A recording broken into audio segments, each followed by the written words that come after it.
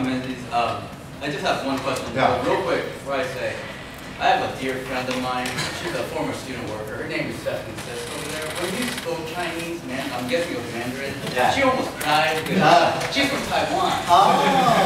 She, she's still homesick. Oh, can talk to her like, yeah. Really, literally make her cry.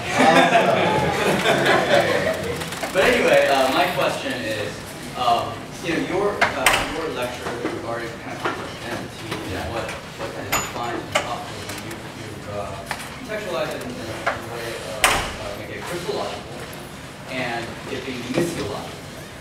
What do you think about, um, uh, Pentecostal theologians who are using, who are, who are kind of coming from a pneumatological focus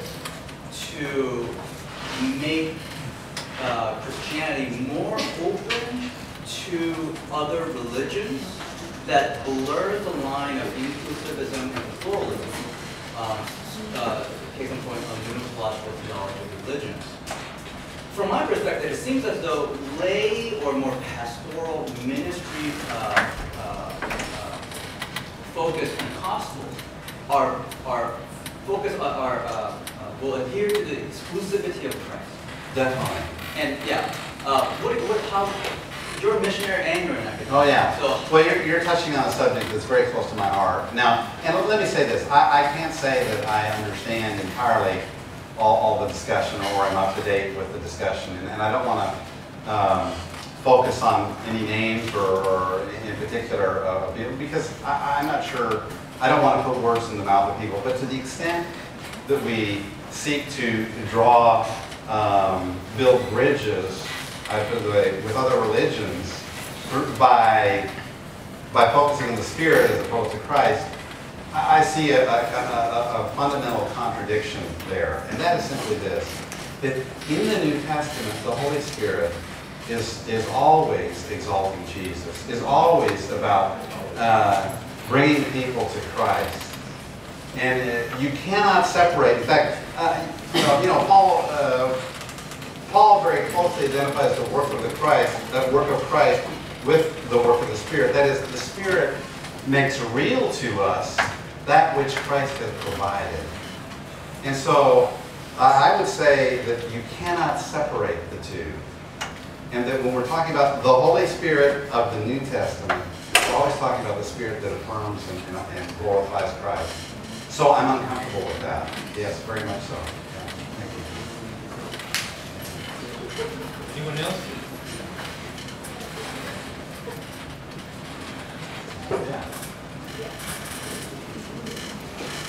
Uh, Since this lecture is about Pentecostal identity, uh, I'm wondering what you think of uh, some of the writings that we're reading from Pentecostal scholars and through SPS and other organizations that have broadened the definition of Pentecostalism from uh, spirit baptism to more of uh, self-identifying as a Pentecostal crusade.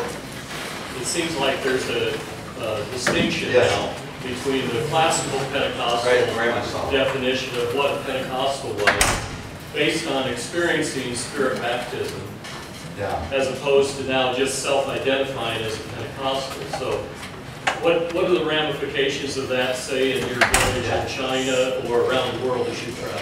Yeah. Well, let, let me say this. I think you're asking the question, uh, you're really asking the question about the definition of what, what does it mean to be Pentecostal. And one of the reasons why I wrote the book, Pentecost, This Story is Our Story, is because I saw that there was a reluctance on the part of many uh, in the academic community to clearly define what it means to be Pentecostal. There was a a reluctance to do that, and that there were many outside of the Pentecostal community that were actually speaking for us. And that frustrated me. I, I felt like, hey, you know, these are, the non-Pentecostals are telling us what, you know, what it should, what we should be like and what, what it means to be Pentecostal. And I thought, "Uh, no, I, I, I want to, you know, I'm a Pentecostal. I want to be a part of this discussion. So it was partly out of that frustration that I wrote the book. But also, it was out of a sense of frustration that in, in the academic community, there's an unwillingness to define very clearly what we mean. And uh, I think there are different, there are different approaches uh, to this. One approach would be represented by Allan Anderson. And if you look at the definitions he gives, they're, they're so incredibly broad that to me it's meaningless. To me, if a word or a definition means everything, it means nothing. And also, I feel that uh, there, at the same time, there's great, uh, I think there's, there's great uh, unity. There's great agreement concerning the core values of the modern Pentecostal movement. Now, I, I'm, I'm going to ask, I, I'd like to get responsive to this because I'm very interested in, in how you react to the, the three convictions that I'm talking about. But those three convictions flow both historically from the modern Pentecostal movement, and they flow, I'm suggesting biblically, from our reading of Luke Acts. See, this is why I'm saying the Pentecostals are making a significant theological contribution to the larger church. The, the, the movement has made a significant contribution, and that is reaffirming the role of Luke Acts in the canon of Scripture. Now, as I mentioned earlier this afternoon, Protestant theology has tended to be Pauline theology, and we love Paul. I tell you what, if we didn't have Paul, we would be impoverished. But, but uh, in his wisdom, the Holy Spirit has also given us Luke Acts. And because Paul is writing to churches, the focus of Paul's theology tends to be more inward, more internal.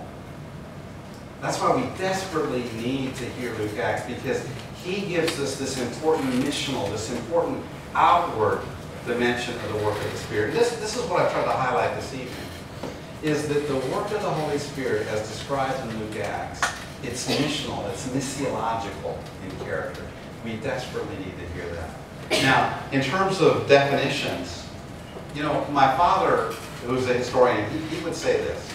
A lot of people say, well, there are a lot of spirit movements, both prior and around uh, uh, Azusa Street and all that. And it's true that there were, and there were many. You know, there were there were revivals both prior, uh, that is spirit revivals and, and re- revival after. But the thing that marked and that gave uniqueness to Topeka, to Azusa Street, and, and beyond, is that there was a clear message. There was a clear message. There was a clear, uh, it's only, it's only at Topeka and it's only at Azusa Street is there a clear connection between baptism in the Holy Spirit and speaking in tongues. Only, at the- and, and that has marked the Pentecostal movement. And so I'm convinced, yes, there were many wonderful spirit movements, but they didn't have a, a clear message or focused message. And this was uh, the, the uniqueness of Azusa Street. Yeah. Can I ask this? Yeah. Yeah, sure.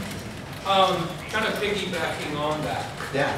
on Dr. Kelly's question and others, it seems to me that reading some of my colleagues' work, um, that Azusa Street and the early Pentecostal movement was less modern and more, more para-modern, if you will. In other words, we had somehow escaped what was happening in that moment.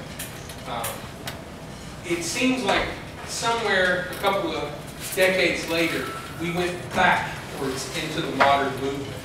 I, I asked a question Oh, yeah. earlier today about uh, why, why use the terminology uh, evidence instead of signs? Signs being a more biblical uh, word and evidence being a word seeming to infer a question that the modern world would ask. With that, it seems like we've lost a lot of our apostolic ethos. We've traded that in for evangelical respectability. And so my question is, in a world where we're seeing a disconnect, at least in the research I'm, I'm reading from Blom and others, and the fact that we hold tightly to the doctrine, but we're practicing it less and less in our local churches.